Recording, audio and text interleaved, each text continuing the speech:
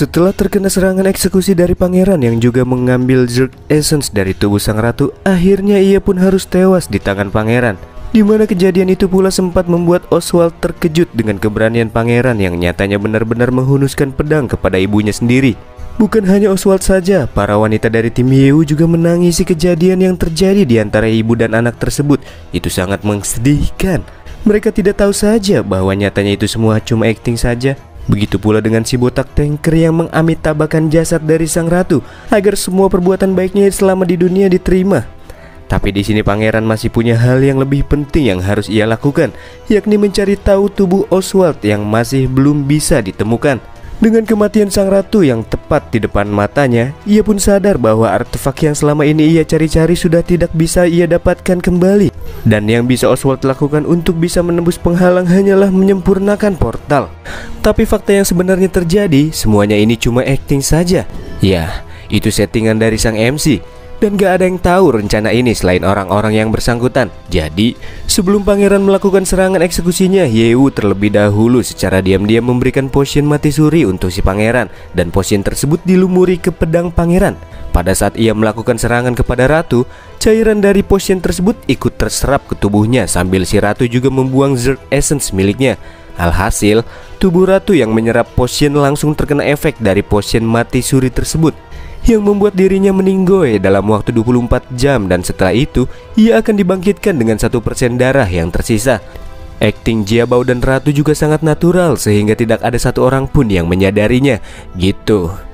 Dilanjutkan dengan Jiwang Chuan yang tengah mendesak sang raja yang kini sudah kehilangan seluruh bodyguard serta pasukannya di mana dirinya berpikir bahwasannya musuhnya saat ini tidak akan bisa berbuat apa-apa lagi bila mengingat Oswald sendiri bukanlah seorang petarung yang kuat ataupun membuat portal karena itu akan memakan waktu dan kekuatan. Jangan khawatir dengan hal itu karena aku adalah Zerg.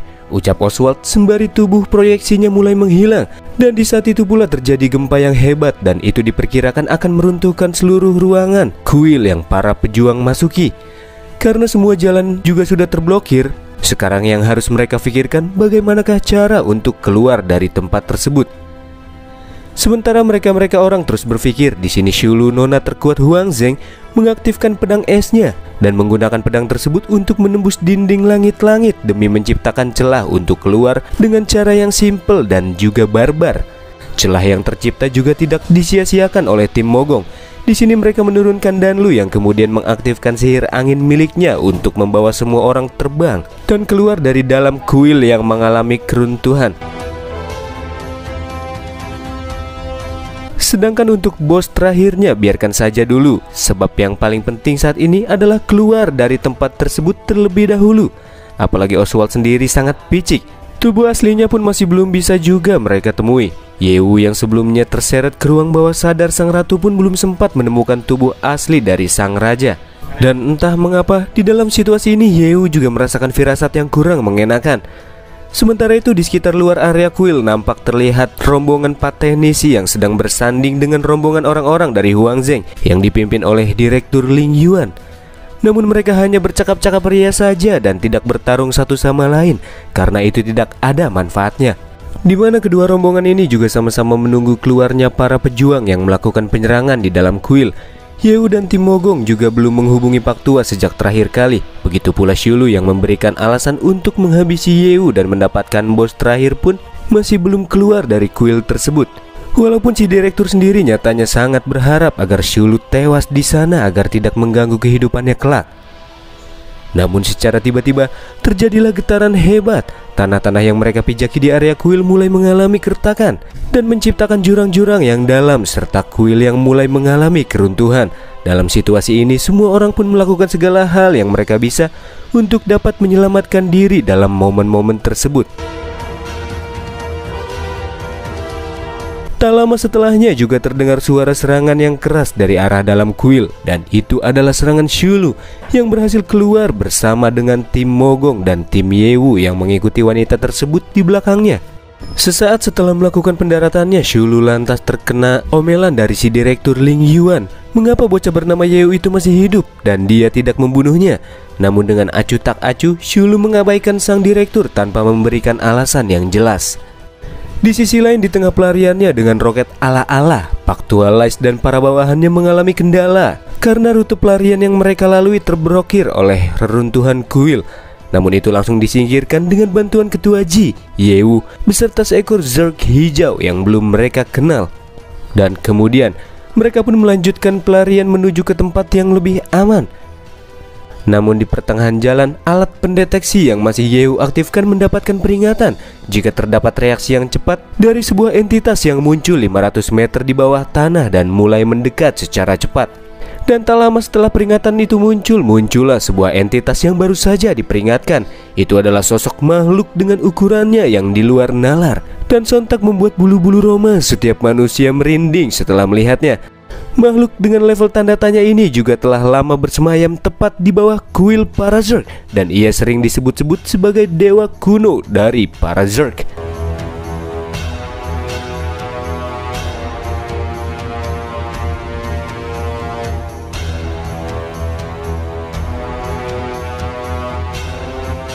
Tapi bukan hanya itu saja, terdapat hal lain juga yang amat sangat mencengangkan.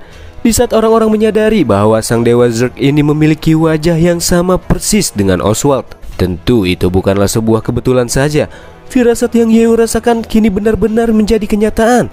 Dan bisa ia pastikan makhluk yang kini muncul tepat di hadapannya merupakan Oswald yang sudah menggabungkan diri dengan sosok dari si dewa Zerg kuno Patua teknis yang juga mengatakan apabila pembangunan portal untuk bisa keluar dari dungeon ini baru saja selesai sekitar 60% dari proses pengerjaannya Sehingga semua orang masih belum bisa kabur dari dalam dungeon ini Padahal Yeo sendiri tidak ingin mengambil resiko melawan Dewa Zerg dan berniat untuk keluar terlebih dahulu. Sebab di dalam tubuh gerombolan Yewu beserta orang-orang yang melakukan penyerangan ke dalam kuil Sebelumnya masih tertanam debuff dari kabut beracun dengan durasi hitung mundur yang terus berjalan sebelum tubuh mereka membusuk. Apalagi musuh yang muncul saat ini berada di tingkatan yang berbeda Dan diperkirakan pertarungan kali ini takkan memakan waktu yang singkat pada momen-momen yang membuat Yehu semakin pusing untuk memikirkannya dari arah lain terdengar suara Aku akan maju duluan. Dan itu adalah pangeran yang lantas mulai bergerak maju sendirian ke arah di mana sang dewa Zerg kuno berada. Ia bermaksud untuk menahan bos sendirian agar memberikan waktu untuk Yehu dan yang lainnya melarikan diri.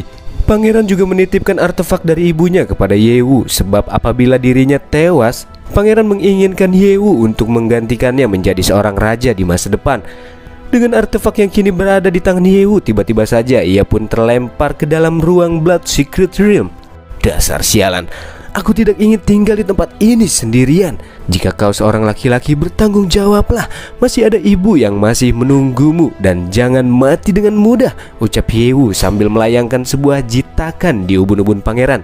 Selain itu, bila mengingat tempat ini mempunyai nilai bintang 5 untuk membangun kastil impiannya, tentunya Yehu takkan sudi membiarkan Dewa Zerg memporak-porandakan tempat yang akan menjadi kehidupan damai yang menantinya di masa depan. Sedangkan Jabau tidak mengerti dengan apa yang baru saja Yehu katakan, tapi nampaknya ia terlihat sangat bersemangat. Sementara itu Ketua Jim menginstruksikan kepada Wan Hao agar ia segera mundur bersama dengan yang lainnya untuk berevakuasi. Sedangkan dia sendiri akan mengalihkan perhatian dari Dewa Zerg supaya makhluk tersebut tidak datang ke titik pembangunan portal dengan tujuan agar si bos Zerg tidak merusak portal untuk menjadi jalan keluar satu-satunya bagi para manusia. Meskipun Wan Hao sendiri menginginkan untuk tetap tinggal dan bertarung dengannya, namun si ketua berkata bahwa makhluk tersebut berada di tingkatan yang jauh berbeda dan takkan mungkin bisa dihadapi dengan kemampuan orang-orang dari tim Mogong saat ini. Jadi Wan Hao beserta yang lainnya harus cepat-cepat mundur ke arah di mana portal tersebut dibangun. Ketua Ji juga akan sebisa mungkin mengulur waktu demi menahan laju dari makhluk tersebut untuk memberikan waktu untuk pembangunan portal. Dan di saat portalnya sudah rampung, mereka diharapkan untuk langsung keluar tanpa menunggu sang ketua datang terlebih dahulu. Begitu pula dengan Yewu yang akan tetap tinggal ia juga berharap supaya Wan Hao membawa anggota tim Yewu ke tempat yang aman.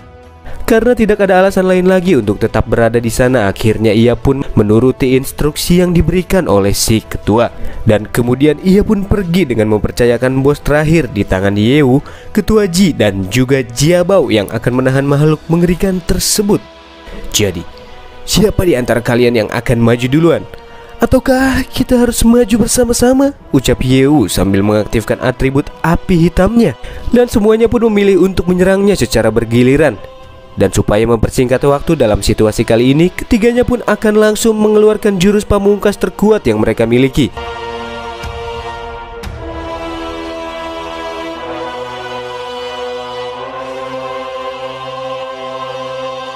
Serangan pembuka akan dilakukan oleh pangeran. Di sini ia menggunakan Eternal Annihilation. Lika-liku dari tebasan yang mampu meretakan ruang tersebut nyatanya hanya mampu mengurangi 10% saja dari darah yang dimiliki oleh sang Dewa Zerg. Serangan yang terlalu banyak menguras energi pangeran ini masih belum mampu membuat damage yang fatal bagi makhluk tersebut. Itu juga menjadi bukti bahwa darah dari sang Dewa Zerg itu sangatlah tebal. Serangan selanjutnya pun akan dilakukan oleh Ketua Ji dan ini akan menjadi serangan terkuat yang selama ini ia rahasiakan. Tapi tanpa diduga-duga, si ketua malah menusukkan pedang ke tubuhnya sendiri. Sebenarnya apa yang dilakukan orang ini? Dan dijelaskanlah olehnya bahwa skill yang dimilikinya ini hanya bisa diaktifkan jika darah serta energi yang dimilikinya berada dalam titik kritis. Ini adalah skill kematian, yaitu Full of Blood.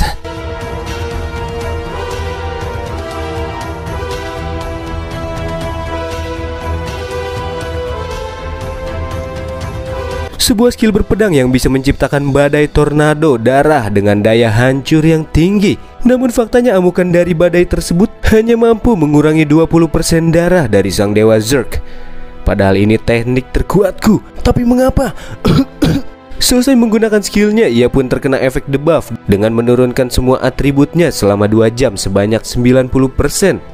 Dari arah badai darah yang tercipta secara mendadak muncul serangan laser yang dilepaskan oleh sang bos monster untuk bisa menahan laser ini, Yewu pun menggunakan tiga lapis perisai dari talentnya. Tapi ada juga dinding es yang muncul sehingga Yewu dapat membelokkan serangan tersebut.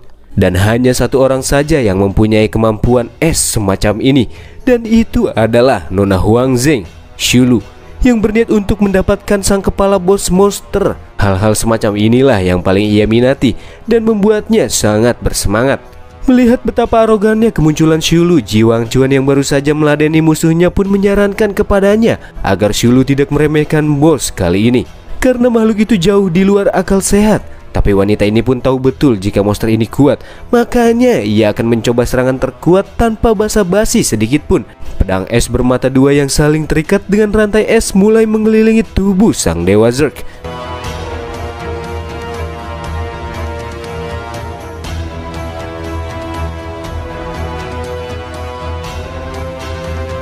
Chain Permafrost Di saat itu pula tubuh dari sang dewa Zerg kuno membeku yang diikuti dengan tusukan-tusukan dari pedang yang mengelilinginya. Skill ini sungguh sangat kuat. Wanita itu pun langsung kehilangan semua energinya berikut dengan efek yang ia dapatkan yakni tidak bisa menggunakan skill apa pun selama 30 menit. Tapi meskipun serangan itu sangatlah kuat, tak lama setelahnya Dewa Zerg kuno bisa dengan cepat menghancurkan SS yang menyelimuti tubuhnya dan makhluk tersebut pun hanya kehilangan sebanyak 30% dari darahnya yang kini hanya tersisa 40% saja. Gila, makhluk ini sangat kuat. Dari hal itu pula Shulu berasumsi jika si Dewa Zerg berada di level 220 atau bahkan lebih.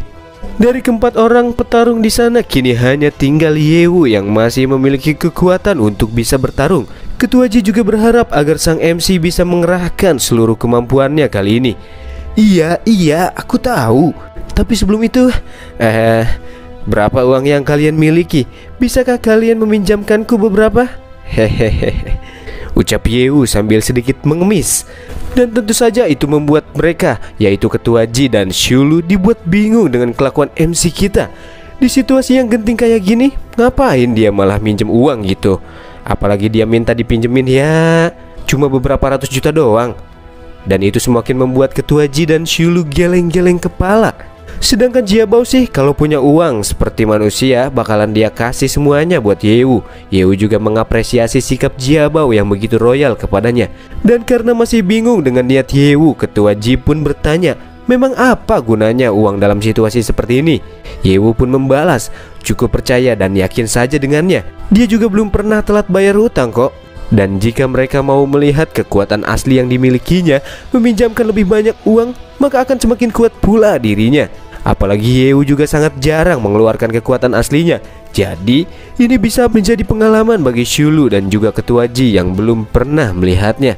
Meskipun Shulu sendiri belum mengetahui hubungan antara meminjam uang dengan kekuatan sang MC, tapi karena dia mau melihat seberapakah strong dari apa yang Yehu sebut dengan teknik rahasia ini, ia pun meminjamkan kepada Yehu uang senilai 200 juta yuan. Di saat yang bersamaan, Ketua Ji juga mentransfer sebanyak 300 juta. Wow, seperti yang diharapkan dari Ketua. Kamu sangat dermawan, ucap Yehu. Namun pada dasarnya si ketua sendiri tidak mempunyai uang sebanyak itu dan yang ia transfer ini adalah uang operasional yang dimiliki oleh tim Mogong. Dan itu lantas membuat Yewu merasa enggak enakan. Tapi itu tidak mengapa karena saat ini yang paling penting adalah nyawa pikirnya. Uang tersebut memang ia pinjamkan, tapi ada satu hal yang perlu diingat Yewu, yakni jangan sampai mengecewakannya. Tenang saja ketua, aku takkan membuatmu kecewa, ungkapnya. Walaupun Yeo sendiri sudah punya tabungan yang cukup, tapi uang yang ia miliki buat jaga-jaga. Jika akun Shadow Kingnya masih belum cukup untuk menghabisi Dewa Zerg kuno, barulah ia akan menggunakannya sampai habis. Dari arah lain, bos monster pun tiba-tiba tertawa keras. Itu adalah Oswald yang baru saja bisa mengendalikan tubuh Dewa Zerg secara bebas. Dan dia sudah bergabung sepenuhnya dengan sosok tersebut. Jadi, sebelumnya Oswald sendiri masih belum sepenuhnya sadar dan belum bisa mengendalikan tubuh dari Dewa Zerg kuno. Tapi sekarang, dengan mode penggabungan penuh darah dari sang monster tersebut ikut kembali terisi separuhnya dan di saat itu pula Yehu juga lantas mengaktifkan Shadow King di mana Yehu juga sekaligus mengaktifkan bentuk khusus dari akun Shadow King tersebut. Ia pun tidak ragu-ragu mengaktifkannya walaupun bentuk spesial ini akan menghabiskan dua kali lipat biaya dari biasanya.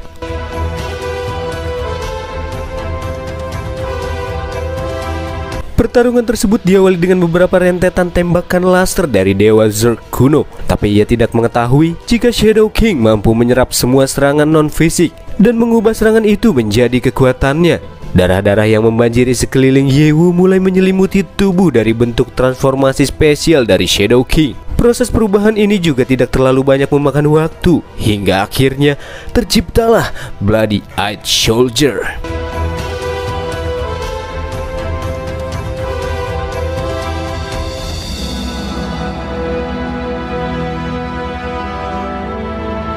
Sosok dari entitas yang misterius ini mempunyai beberapa pasang sayap kelelawar serta tubuh dengan lubang besar dan terdapat inti berbentuk bola di pusatnya. Sosok transformasi Yehu ini juga sangat mengejutkan setiap mereka yang melihatnya dan itu diperkirakan tidak kalah kuat dengan Dewa Zerg kuno atau bahkan bisa saja lebih kuat. Meskipun Yin Huan pernah melaporkan kepada Ketua Ji apabila Yewu pernah berubah menjadi sosok naga berwarna darah, ia tidak percaya sama sekali. Tapi setelah melihat dengan mata dan kepalanya sendiri, kekuatan yang Yewu tampilkan saat ini bahkan sudah melampaui orang-orang yang pernah Ketua Ji temui sebelumnya. Yewu, apakah dia benar-benar seorang manusia? Pikir Ketua Ji yang masih tidak percaya. Dari arah kejauhan, Wan Hao beserta yang lainnya juga bergidik melihat kemunculan dari sosok raksasa lainnya dan bisa dipastikan jikalau pertarungan di antara kedua sosok besar itu akan menjadi pertarungan dengan skala kehancuran yang mengerikan. Di antara mereka hanya Yunfei saja yang menyadari jikalau itu adalah Yewu, kakaknya sendiri. Sedangkan di dalam pertarungannya Oswald atau Dewa Zerg sepertinya masih belum belajar dari kesalahan sebelumnya. Dia kembali menembakkan laser beam dengan intensitas yang jauh lebih kuat. Dan lagi-lagi serangan tersebut langsung diserap ke dalam bola inti energi yang terdapat di tubuh Shadow King. Kekuatannya pun semakin bertambah di mana energi-energi yang diserap kemudian diubah menjadi dua tombak sebagai persenjataan.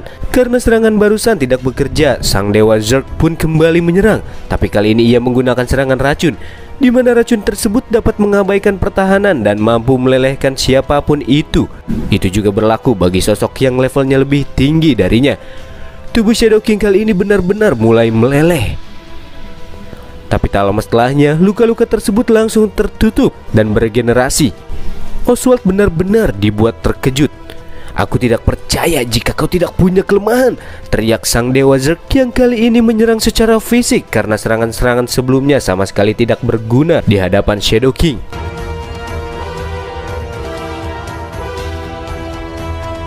Kaki-kaki dari sang dewa Zerg yang runcing. Oswald gunakan untuk menyerang Shadow King.